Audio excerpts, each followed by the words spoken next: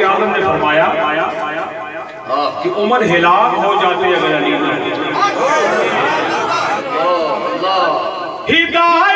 के कौन? ये सारे साहबा रसूलुल्लाह के के गुलाम। हिदायत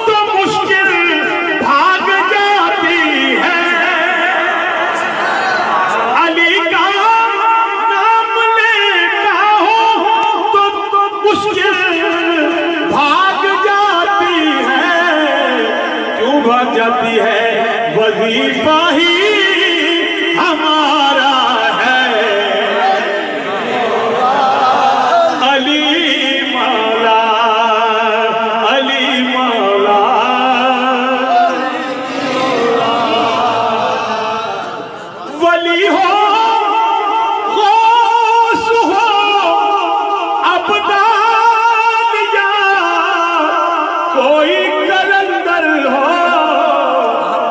सभी का एक नारा है।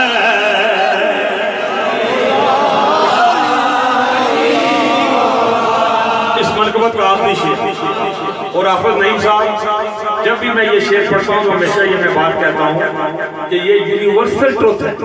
ये आलमी सच्चाई है। वे मोहम्मद इसका इनकार नहीं कर सकता। वो क्या, वो सच क्या है, वो सच्चाई क्या है? वजह है ना? कि नबी के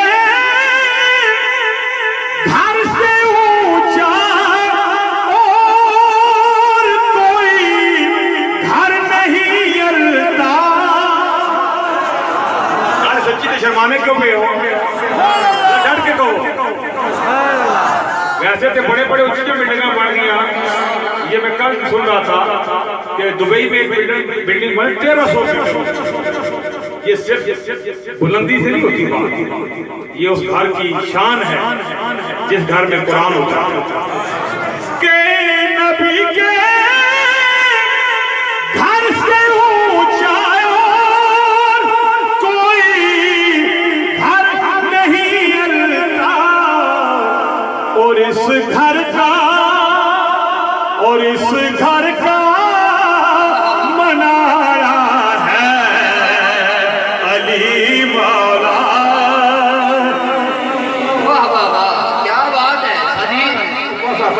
क्या बात। ये मैंने, हम, मैंने पहले कहा बड़े बैलेंस्ड अकीदे के बंदे और घर वालों के भी गुलाम, दर वालों के भी गुलाम। जिसकी गुलामी मैंने अपने दामन में समेटो और अपने आप को। खुश हमारे पास कोई ऐसा मिजाज नहीं है, कोई ऐसा तराजू नहीं है कि कोई बात की जा सके। मैं आपको एक मतला आखिर में सुनाता जब भी मेरे दिल में ये कोई महफिल ऐसी होती है ना इंसान दिल से पढ़ता है। वैसे तो पढ़ना होता है, हर जगह पे पढ़ना होता है। तो ये भी ना समझ में ना पैसा से पढ़ना पैसा अल्लाह ने बड़ा अता करता हजूर के नालाने पाक का बड़ा मुझे देते हैं, हजूर देते हैं। लेकिन मैं कभी कभी बड़ी लज्जत लेके, अली के ज़िक्र के बाद उसका ज़िक्र करता हूँ जिसका ज़िक्र अली भी और ये भी कोई समझे तो मैं किसी खुश करने से करना। मुझे खुश हो तो कह कर को जन्नत दे दे मैं उसका ज़िक्र करने लगा हूँ, जिसका ज़िक्र सुन के रसूलुल्लाह खुश होते हैं और जब हुजूर खुश होते हैं तो इतना अल्लाह करते हैं, किसी और की हाजत ही नहीं छोड़ते। एक मतला मैं सुनाऊँगा आपको, और इंशाल्लाह मतला साफ़ हो जाएगा। वफा के बादशाह की बात करने लगा हूँ। उसकी जो आज भी रसूलुल्लाह के साथ हजूर के मज़ार में है। तो जो तो लगा दे एक शेर मैंने सुनाना है पर एक मतलब किसी भी कलाम का जो माथे का झूमर होता है वो उसका मतला होता है पहला शेर और मतला अच्छा हो तो फिर मतला साफ़ हो जाता है आ,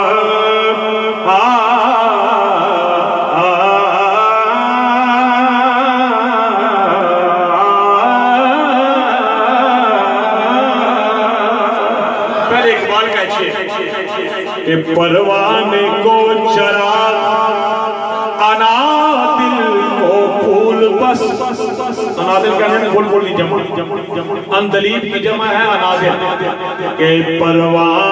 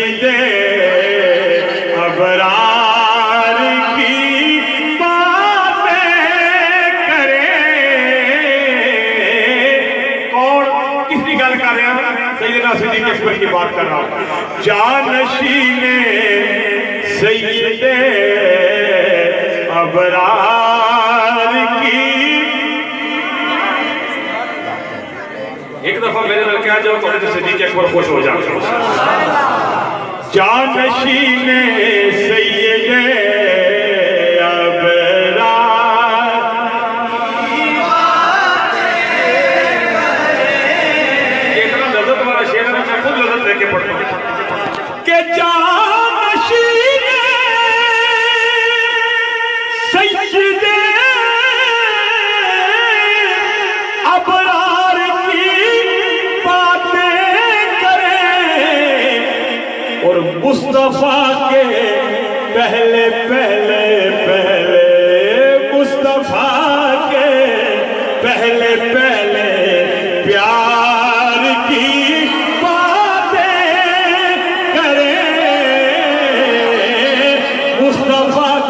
पहले का लुत्फ कैसा है।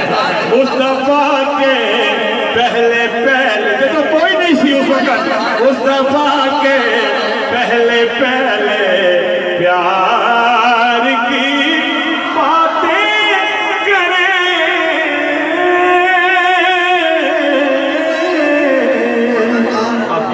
उलमा का शुक्रिया, आयशा का शुक्रिया। आपने बड़ी मोहब्बत के साथ समाज किया।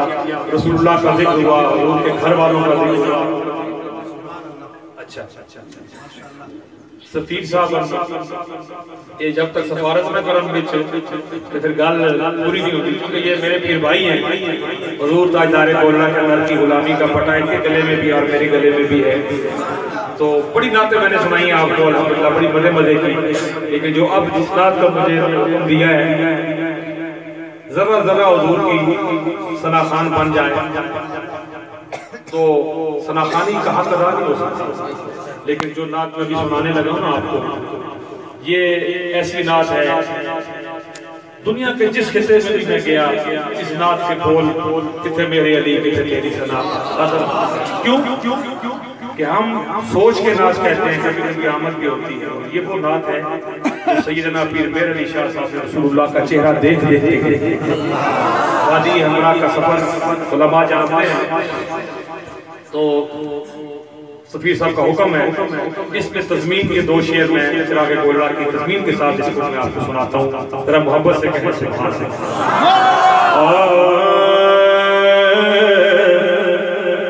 फुरकत दी रात लबेरिए चुली गम दी। लाल हनेरिए रब्बा वसल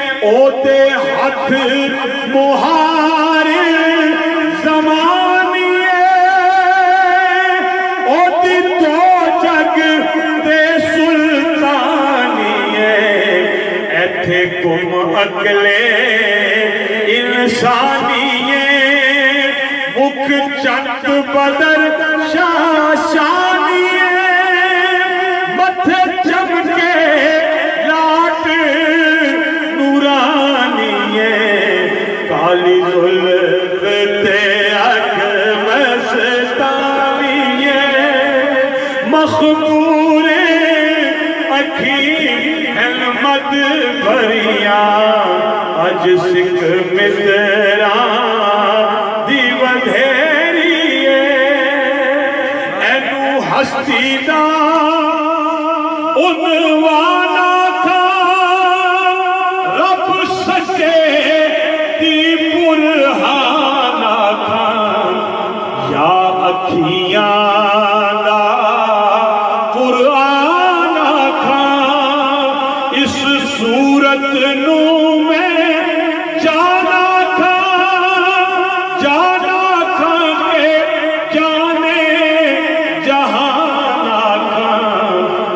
सच आखा तेरा मेरी शाना का, जिस शान को शाना सब बढ़िया। अज सिख मित्रा दी वधेरिए आखिरी बात। और इसमें पीर मेरे निशान जिसमें इस शेर का आगाज़ होता है सुभान अल्लाह सुभान अल्लाह उस वक्त बोला जाता है कि जब कोई ऐसी आप मुहैर चीज़ देखते हैं, जो आपकी अकल को मांग कर दे, कोई ऐसा मोजा कोई ऐसी चीज़ जो फ़ौरन पे लगता है अल्लाह तो जब फिर मेरे निशान साहब ने रसूलुल्लाह का चेहरा देखा तो कहा अल्लाह की जिन्नो बशर की शाह कदा नसीर ओ शान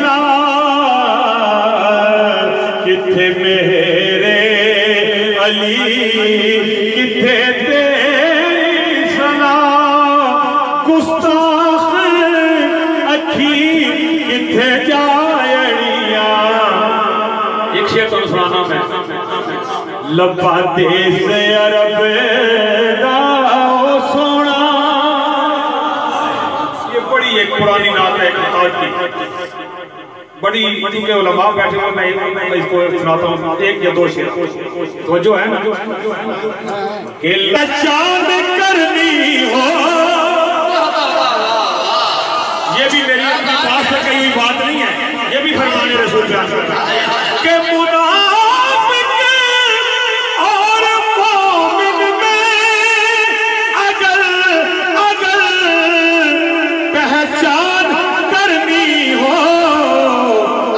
मुश्किल नहीं लगाओ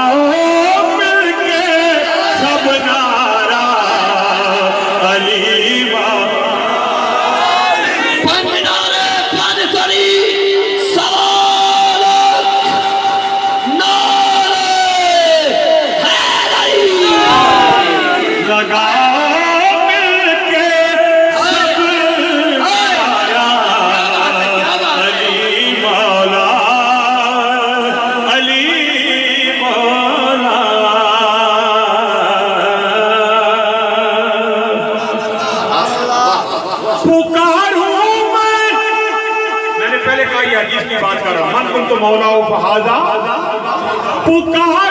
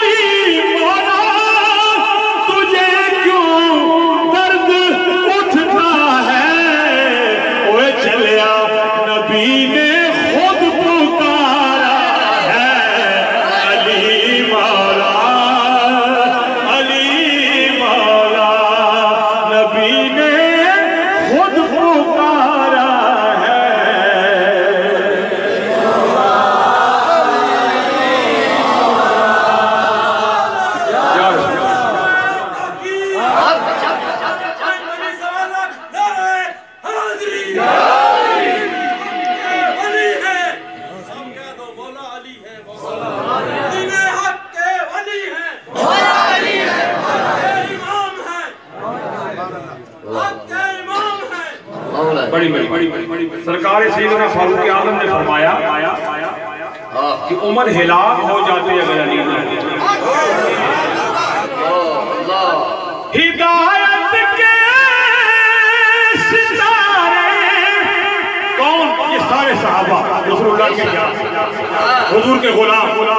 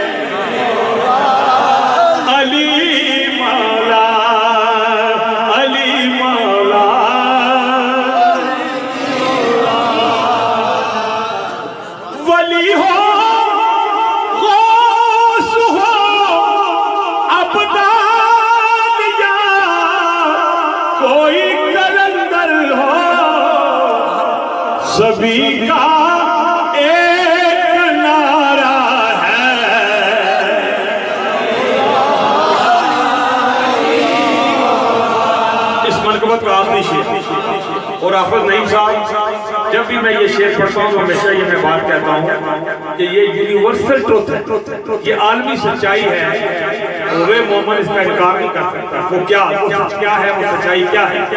समझो है ना? के नबी के घर से ऊँचा और कोई घर नहीं अल्लाह सच्ची तो शर्माने क्यों गए हो?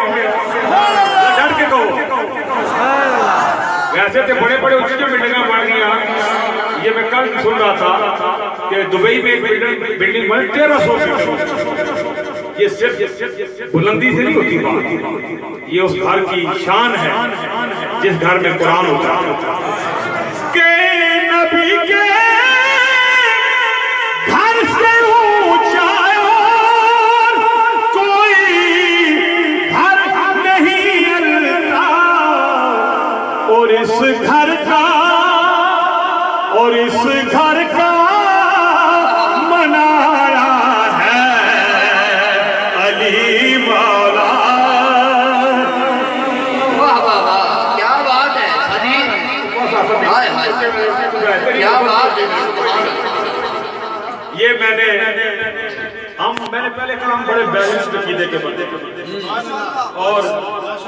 वालों के भी गुलाम, दर वालों के भी गुलाम।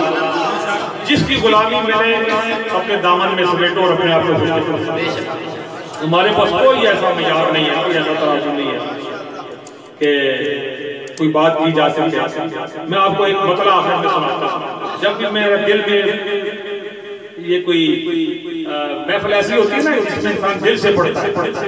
वैसे तो पढ़ना होता है, हर जगह पे पढ़ना होता है। तो ये भी ना समझ में ना पैसा से पढ़ना पैसा अल्लाह ने बड़ा अता करता हजूर के नालाने पाक उसका बड़ा मुझे देते हैं, हजूर देते हैं। लेकिन मैं कभी कभी बड़ी लज्जत लेके, अली के ज़िक्र के बाद उसका ज़िक्र करता हूँ, जिसका ज़िक्र अली भी और ये भी कोई ना समझे तो मैं किसी को खुश करने से करना। तुझे खुश हो तो कह कर मन को जन्नत दे दे मैं उसका ज़िक्र करने लगा हूँ, जिसका ज़िक्र सुन के रसूलुल्लाह खुश होते हैं और जब हुजूर खुश होते हैं तो इतना अल्लाह करते हैं, किसी और की हाजत ही नहीं छोड़ते। एक मतला मैं सुनाऊँगा आपको, और इंशाल्लाह मतला साफ़ हो जाएगा। वफा के बादशाह की बात करने लगा उसकी जो आज भी रसूलुल्लाह के साथ हजूर के मज़ार में है। तो जो तो कह दे एक शेर मैंने सुनाना है पर एक मतला और किसी भी कलाम का जो माथे का झूमर होता है वो उसका मतला होता है शेर। और मतला अच्छा हो तो फिर मतला साफ़ हो जाता है। आ,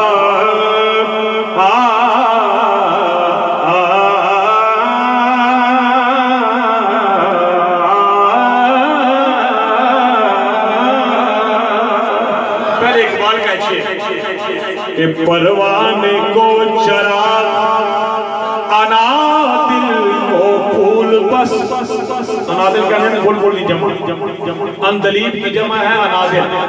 के परवाने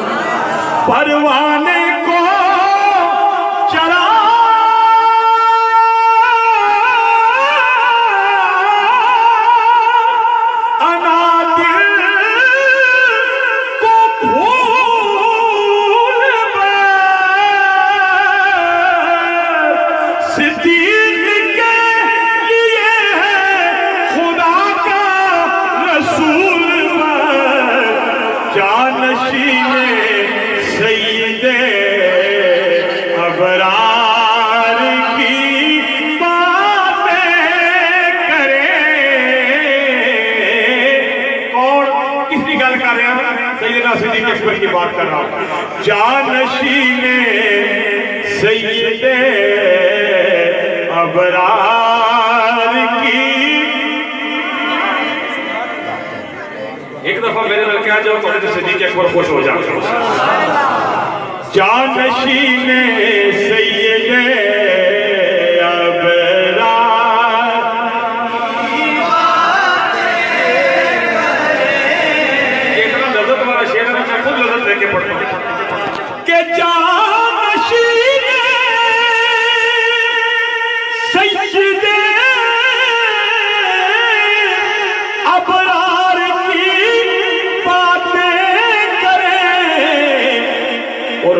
मुस्तफ़ा के पहले पहले